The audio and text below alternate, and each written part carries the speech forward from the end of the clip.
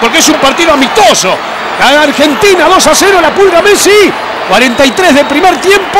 La tejieron entre la Messi, Vanega y la terminó la pulga. El genio, el mejor. Es cierto que Albania es frágil, es cierto que da algunas ventajas muy, muy claras. Pero el tema es que Messi esto lo hace dos veces por semana y convierte a cualquier rival en Albania. Esta vez era Albania, pero él condujo esta jugada, él la inició, se ofreció para recibir. Y cuando recibe, aún sabiendo todos los jugadores albaneses que Messi va a hacer eso, no pueden evitarlo.